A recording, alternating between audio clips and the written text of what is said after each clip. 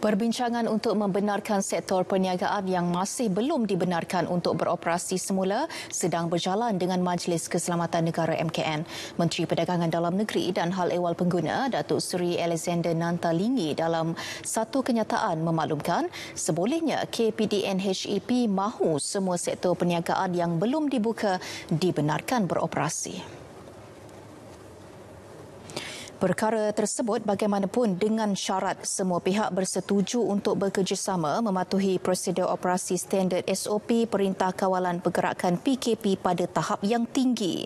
Menurut beliau, KPDN HEP sangat prihatin dan mendengar rayuan pelbagai sektor perniagaan yang meminta untuk diberikan kebenaran beroperasi. Pihaknya juga memahami keperluan perkara berkenaan bagi memastikan kestabilan dan kelangsungan ekonomi.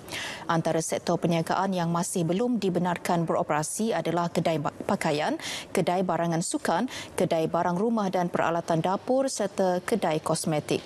Dalam perkembangan lain, beliau memaklumkan bekalan minyak masak pack polybag 1 kilogram masih mencukupi di seluruh negara meskipun lanjutan pelaksanaan PKP.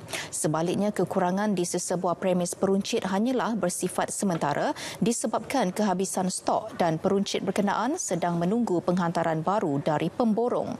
Datuk Seri Alexander Nanta memberi maklum balas demikian selepas melakukan tinjauan ke sebuah kilang pengeluaran dan pembukusan minyak masak sawit di Dengkil Selangor serta pemeriksaan pegawai penguatkuasa KPDN HEP di seluruh negara termasuk di Bandar Muazzam Shah Rompin baru-baru ini.